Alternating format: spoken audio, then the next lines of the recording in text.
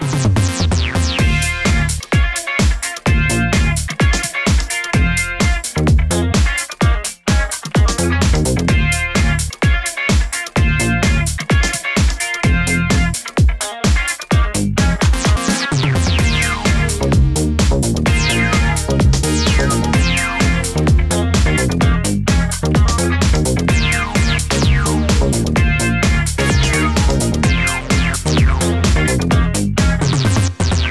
Здравствуйте, с вами Михаил Кириченко и Сергей Сибиряков.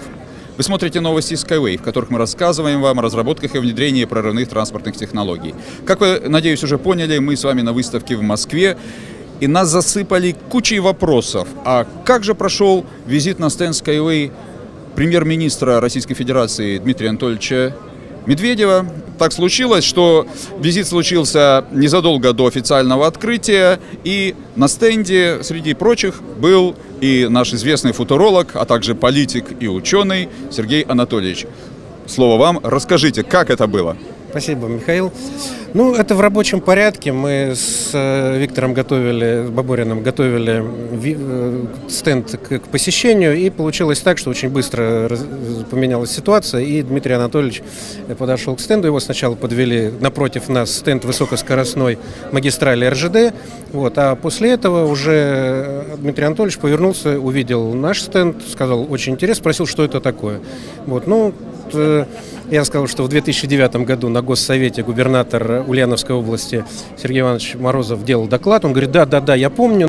Сначала слово губернатору Ульяновской области. Пожалуйста, Сергей Иванович.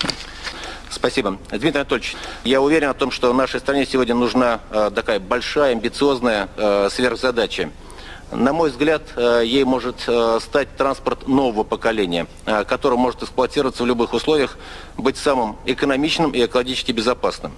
И я веду, может быть, для некоторых покажется достаточно странным виде транспорте, но я хотел бы сказать о том, что такие разработки у нас есть.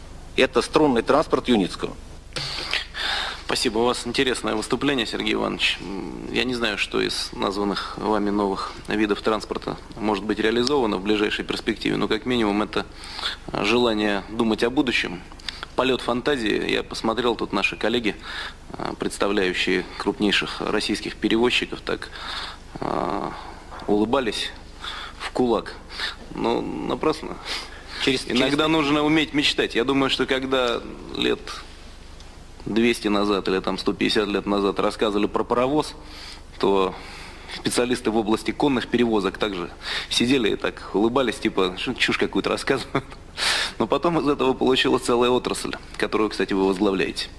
Именно это, кстати, и есть инновации, если уж так по-честному. Но такие уже серьезные. Ну и дальше вопрос, что, что вы сделали, что получилось. Вот я ему буквально там в 2-3 минуты рассказал о тех успехах, которые есть, что у нас идет работа, КБ создано, испытание машины, показал действующий образец э, Юникара. Он остался очень доволен задавал очень такие серьезные конструктивные вопросы и в конце пожелал удачи, что очень приятно. Он сказал там, я очень рад, что ну, у вас что-то получается. И еще одна очень такая интересная фраза, говорит, я завтра буду в Беларуси у коллег, обязательно поинтересуюсь, чем они вам помогают, как у вас идет на территории Беларуси. Это вот дословно передаю его, его слова, которые он сказал перед уходом. То есть э, я понял, что он не планировал визит сюда, его повели сразу куда-то еще он сам заметил, вспомнил, изменил план своего визита и подошел к нам. Правильно я понимаю? Да, это абсолютно так, что я абсолютно уверен, что в плане посещения его не было, потому что э, все сопровождающие выстроили таким маршрутом. Он должен был пройти про, мимо стенда, но еще раз скажу, что он повернулся сам, увидел и сам подошел с вопросами, ну, что это такое. Как можно не подойти к такой красоте? Видите, сколько да, народу. А, Сергей Анатольевич, кто еще из, э, э скажем так, людей высокопоставленных, пока не была открыта выставка, Э, был здесь. Насколько я знаю, был вице-премьер, еще министр транспорта. Просветите. Ну, министр транспорта э, Соколов, он был вместе с премьер-министром, поэтому, ну, он уже много раз был на стенде, мы с ним общались много-много раз, то есть для него это уже технология, ну, как бы знакомая, поэтому он уже, мы с ним как, как старые знакомые. Mm-hmm. Вот, был, кто первый раз услышал о технологии, был Игорь Иванович Шувалов, это первый вице-премьер, курирующий в правительстве финансы. Он, так как наш стенд прямо напротив РЖД, то он как раз был с посещением, ему глава РЖД Белозеров рассказывал о высокоскоростной магистрали Москва-Казань.